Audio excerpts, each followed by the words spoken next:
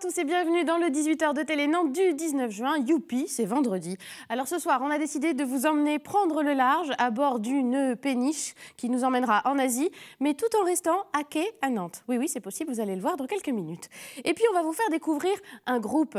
Euh, ça s'appelle Dunkerque, alors rien à voir avec la ville du Nord et son carnaval. C'est bien un trio nantais que nous allons recevoir dans quelques minutes qui vont jouer euh, qui des claviers, qui des claviers, qui euh, de la guitare, qui du micro. Ils sont trois et ils vont vous faire découvrir une musique qui sent bon l'été et les vacances. C'est frais, c'est dansant. Normalement, ça devrait vous plaire. Restez avec nous, ça démarre tout de suite.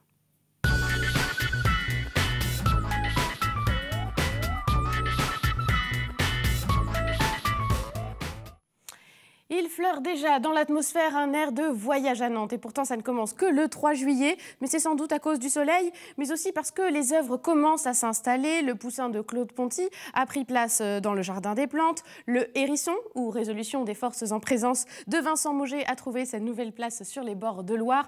On voit aussi déjà la nouvelle structure euh, de l'œuvre qui va être sur la place du Bouffet, une œuvre signée Baptiste de Bombourg. On peut d'ores et déjà la voir. Et puis, il y a aussi Pick Up. Pick Up, c'est l'association euh, nantaise des cultures urbaines, l'asso qui se cache aussi derrière le festival Hip Hop Session et qui met euh, chaque année les arts graphiques à l'honneur dans le cadre du voyage à Nantes. Et cette année, le nom de code de l'opération, c'est Easy Riders, euh, un petit clin d'œil évidemment au film de Denis Hopper, Easy Rider. Et rappelez-vous, hein, avant, Pickup avait déjà fait The Wall, c'était une fresque qui se renouvelait toutes les semaines à les Flesselles entre euh, et Bouffé. L'année dernière, il y avait eu la Villa Ocupada, un bâtiment dans le quartier d'Aubray qui avait été réinvesti par des artistes sud-américains. Et cette année, Pickup a choisi d'investir une péniche. Et oui, ces gens-là sont un petit peu fous, ils ont une imagination débridée. C'est une véritable péniche, comme on le voit sur euh, ces images, qui vient des chantiers L'Esclin à Nantes, dans le bas Chantenay, et qui est allée s'amarrer euh, dans le canal Saint-Félix. C'est juste à côté du lieu unique. Donc une véritable péniche qui a une véritable histoire de péniche. Elle a plus d'un siècle et elle transportait en son temps euh, du sable et du foin. On la voit là passer l'écluse avant de rejoindre ce fameux canal Saint-Félix.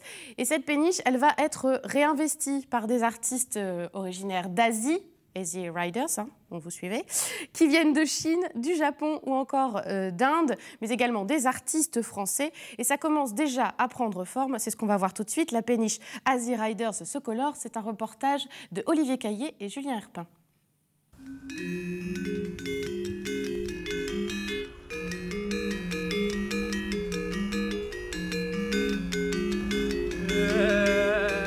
L'idée, c'est euh, de euh, faire une excursion dans la création graphique contemporaine asiatique. c'est pour ça qu'on a invité une dizaine d'artistes euh, originaires d'Asie ou des Français, mais qui sont, dont le travail est fortement influencé par la culture asiatique, à venir investir et travailler in situ dans cette péniche qui est mise à disposition par le chantier de l'Esquin. Et puis créer une œuvre collective qui est visible à la fois de l'extérieur et puis dans laquelle le public va pouvoir pénétrer pendant la durée du voyage à Nantes. C'est des gens que j'ai rencontrés euh, lors de, voyages. Puis après, c'est aussi euh, bah, la qualité de leur travail, la qualité d'adaptation pour eux aussi, parce que là, on est sur un format tout petit, donc il fallait des, choses qui puissent coller, pas des, pas par exemple des gens qui font des fresques énormes, ça rentrerait pas dans la, péniche. Du coup, euh, voilà, c'était quelques critères de sélection.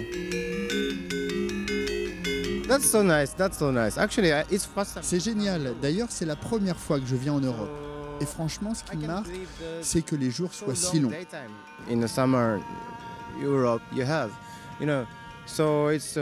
Et c'est aussi la première fois que je peins une péniche entière.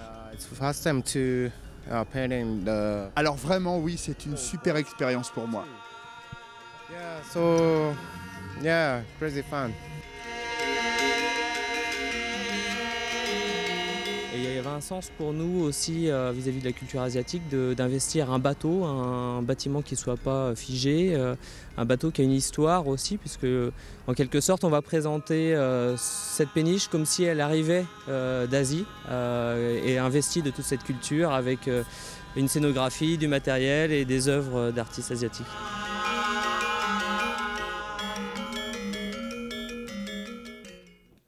Voilà, une péniche à découvrir d'ores et déjà, bien sûr, dans le canal Saint-Félix. Et puis, à partir du 3 juillet, vous pourrez visiter également l'intérieur. C'est dans le cadre du voyage à Nantes. On en reparlera bien évidemment, puisque Télé Nantes est partenaire de cet événement. Et tout de suite, nous allons continuer en musique avec le groupe Dunkerque qui se trouve juste à côté de moi. Voilà, petit panoramique là, de, Stéphanie qui va montrer tous les membres du groupe. On a une petite tradition, on présente chaque, membre hein, avant de, démarrer, avant de vous entendre jouer. C'est ce qu'on appelle l'interview Jacques Martin ou école des fans également. Donc comment tu t'appelles Jeffix. Jeffix, c'est son petit surnom parce qu'il y a un vrai nom, on ne le dit pas. En vrai Jean-Félix. Jean-Félix, tout à fait. Aucun lien avec le canal Saint-Félix auquel on faisait allusion tout, à l'heure. Hein, aucun lien. la péniche. Et tu habites Nantes? J'habite à Rosé. Ah, mais c'est bien, tu as le droit. Et puis, euh, ma question aussi traditionnelle, c'est qu'est-ce que tu as mangé ce midi? Qu'est-ce que tu aimes ah, manger aussi un sandwich. Un sandwich sur le pouce. Poulet curry. Attention, il faut manger équilibré hein, tout de même. Hein. Ouais. Il y avait des feuilles de salade. Ah, ça passe, c'est bon, ça ira pour cette fois. La chanteuse qui s'appelle Gwenaëlle. Gwenaëlle, oui. Alias? Euh, Game. Game. Gwen. Gwen, c'est difficile à prononcer, alors on dit Game. On dit Game, voilà, Game c'est plus facile. Et toi, tu habites où? Euh, À Rezé Ouais, aussi. Vous habitez ensemble Non, non, pas loin. Pas loin. Et euh, qu'est-ce que tu as mangé ce midi euh, J'ai mangé une salade de pâtes avec du melon et de la tomate et de la mozzarella. Très bien, ça c'est équilibré, un bon point, un bon point fraîcheur pour Gwen. Et il nous reste un membre à découvrir. Bonjour, comment tu t'appelles? Je m'appelle Thomas. Voilà, et puis les fans de Télénante vous auront reconnu, hein, vous a déjà vu plusieurs fois, on en reparlera justement. Euh, Thomas, tu habites où? J'habite à Nantes. Voilà, enfin un Nantais. Ah, enfin quand même.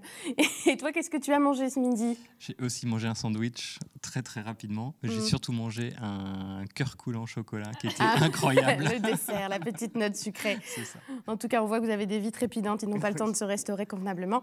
Euh, on va les écouter chanter une première chanson. C'est le groupe Dunkerque et ça s'appelle Ignition, si je ne m'abuse. C'est comme quand une fusée décolle. C'est ça. C'était ça l'idée? Ok, c'est parti. On décolle alors.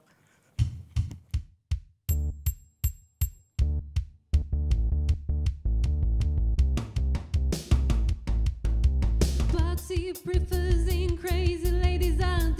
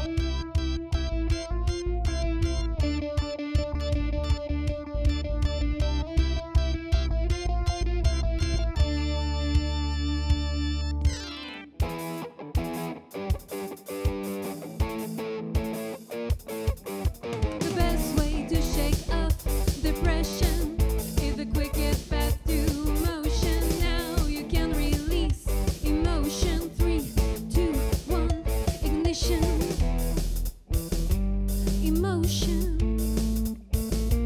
ignition.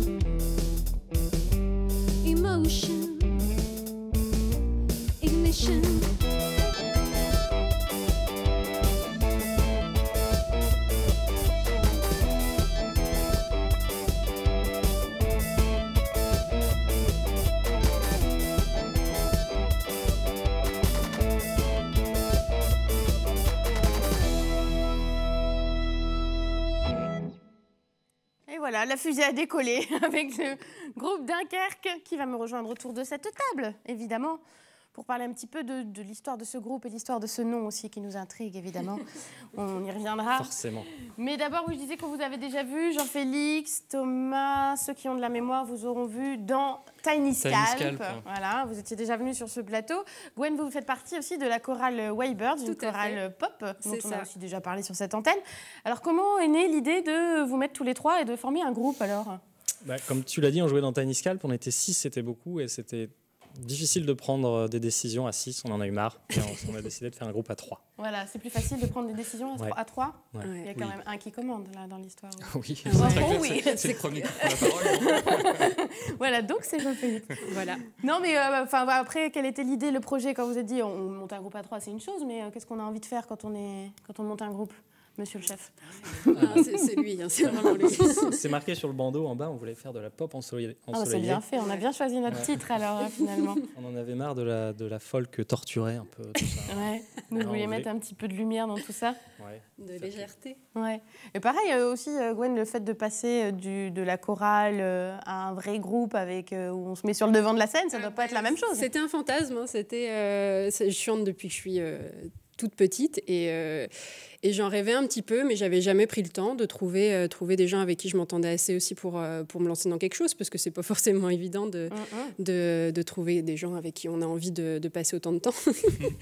et, et, puis ils m'ont trouvé et, et, puis moi j'étais, j'étais bien contente de, de, proposer. C'est ça, un petit peu, ouais. Voilà. ouais mais la longueur de mes jupes les a intrigué. ça, faisait partie de nos critères avec Thomas. Il fallait une petite jupe courte qui va bien avec le soleil. Hein, C'était ça, l'idée. Euh, dans vos, le style, on a dit pop ensoleillé, mais là il y avait un petit côté un peu rock aussi, un peu électro. Il y a, on a la croisée de tout ça. Thomas, vous avez pas entendu ça Non, je n'ai pas encore parlé. on a des quotas, hein, c'est comme les émissions politiques. Hein, électro, je vais laisser Jean-Félix en parler, mais ah, il y, a certainement un côté électro, c'est sûr. Après rock aussi, bien sûr. Ouais, ouais, On, on, a beau euh, jouer dans un groupe plutôt de folk, effectivement, de venir de cet univers euh, acoustique etc. On écoute beaucoup de choses, on a, on a une ouverture d'esprit au niveau musical qui, est, qui est assez large. Donc, euh, c'est toutes ces musique, hein, Oui, c'est ça, on se limite à ça.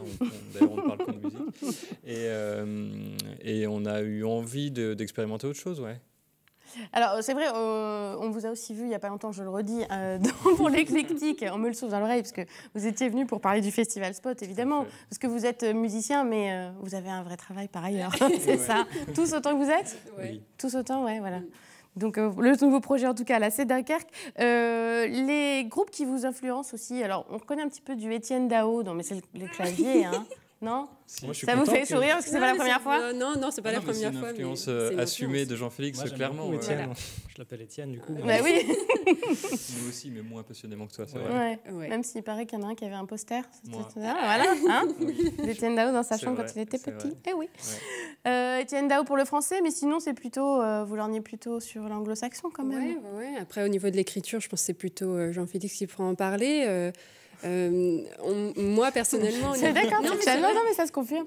Au, niveau, au niveau du chant, après, euh, moi, ce qui m'intéresse, c'est aussi. Euh, c'est vraiment le côté léger des paroles et puis le côté dansant. Alors, on, en parlait il n'y a pas longtemps de, Franz Ferdinand. Alors, on n'est pas, c'est pas pareil, c'est sûr, mais, mais moi, je suis plus inspirée de toute façon par des chanteurs hommes et, et donc, du coup, j'essaye de trouver cette énergie-là qui n'est pas forcément facile à reproduire, mais c'est un peu ça l'idée, c'est d'être sautillant et euh, et, rigolo.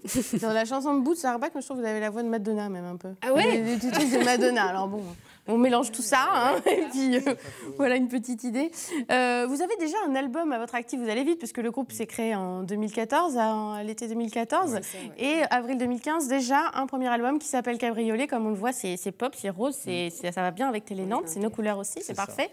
ouais, vous allez vite? Ouais. Pourquoi? En fait, on fait, on fait pas les choses dans l'ordre. Les chansons existaient déjà.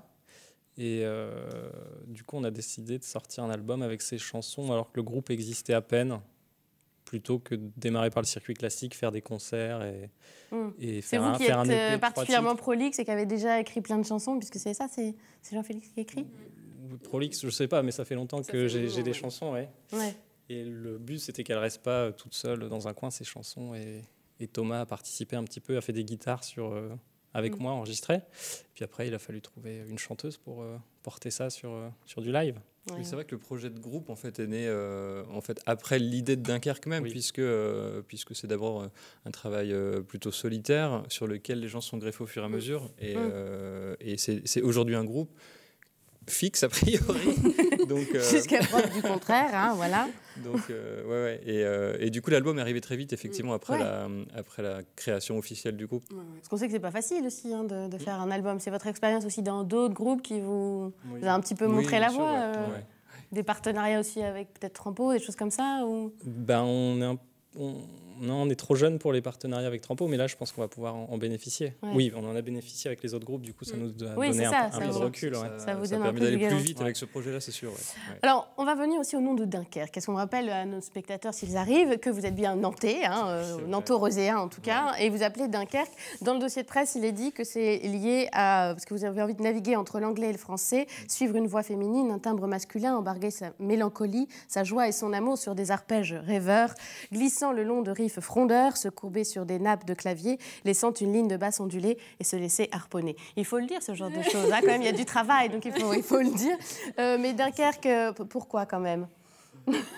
C'est étonnant. Il y a pas mal de raisons. Pour euh, le K et le Q déjà.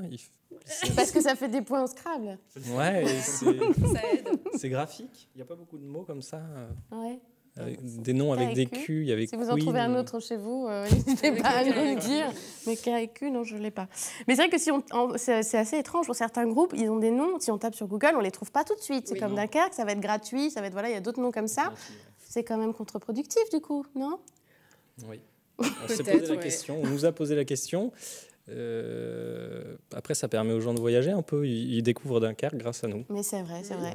Dunkerque a eu une mauvaise presse il n'y a pas longtemps. Je sais que ça vous a fait réagir aussi sur Facebook à cause de Catherine Deneuve qui a tourné un film à Dunkerque et euh, qui a dit là-bas c'est alcool, cigarette et tristesse. Même chose. Même alcool, chose pour cigarette et, mélancolie. mélancolie, oui. Mélancolie, c'est pas pareil que la tristesse. Et finalement, c'est pas mal. Ah bah moi j'ai beaucoup aimé. Parce que les habitants de Dunkerque n'ont pas aimé, mais le groupe Dunkerque a peut-être aimé. Moi j'ai beaucoup aimé Dunkerque. J'y suis allée, j'ai beaucoup aimé.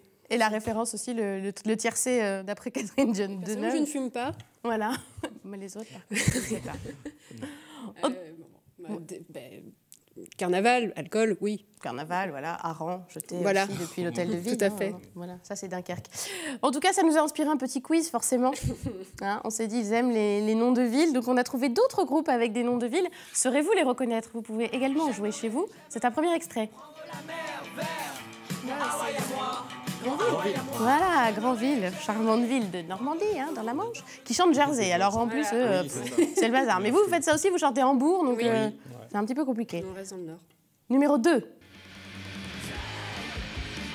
C'est pas dans notre cordes, ça. C'est un petit clin d'œil au Hellfest hein, euh, qui, qui, démarre aujourd'hui. vous pouvez dire une ville au pif, hein, au cas où. Oslo. Non, et non, c'est en France aussi, ça s'appelle Metz. Ah oui, voilà, ah la, Metz, la ville de Metz, et la chanson s'appelle Acétate. Je vais peut-être pas dit avec l'accent, mais voilà. Troisième titre Attention. Beyrouth. Voilà, le groupe Beyrouth qui chante Nantes aussi. Hein, voilà, il y a des obsessions comme ça de toponymie, on n'y peut rien.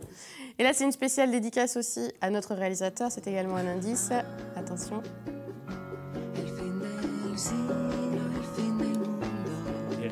Eric le réalisateur, mais Eric est une ville aussi, c'est vrai, mais euh, de, de Loire-Atlantique. Il n'y a pas encore de groupe qui s'appelle Eric, je crois. C'est un tort. Non, c'est Le Mans. Voilà, notre réalisateur est originaire du Mans. Vrai. Et c'est un groupe espagnol, alors on n'y comprend plus rien, qui chante comme Sion de Todo va mal, voilà, qu'on a entendu. Voilà, les, les, les, autres groupes avec des noms de villes. Euh, vous, en tout cas, même s'il y a des noms de villes qui vous inspirent, Dunkerque, Hambourg, on sent aussi que vous aimez bien le voyage. C'est des thèmes qui reviennent un peu. L'album s'appelle Cabriolet, la chanson Lille qu'on va entendre tout à l'heure, c'est une histoire de voyage.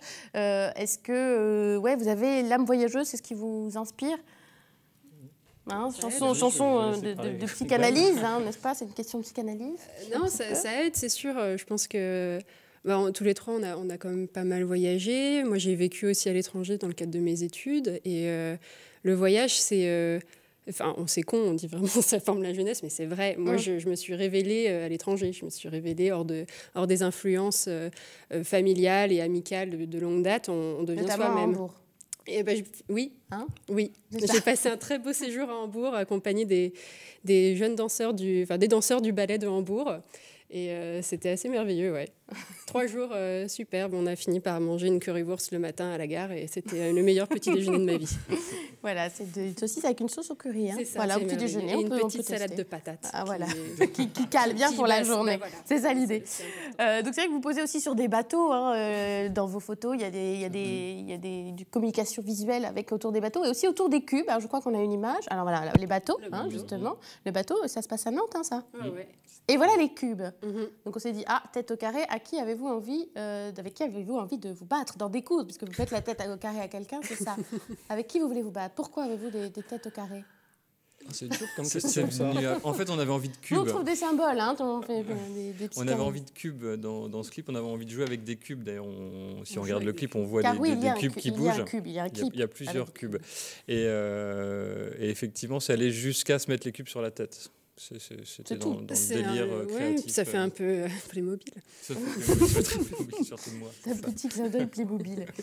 euh, par ailleurs, vous travaillez aussi en collectif, euh, pas mal. On va y revenir parce qu'il y a une date à annoncer. C'est le 25 juin prochain, la semaine prochaine, un concert avec le collectif My Name is Sue, How Do You Do, où on retrouve Alvin Stram, où on retrouve Tiny Scalp, notamment After the Bees aussi qu'on a déjà reçu.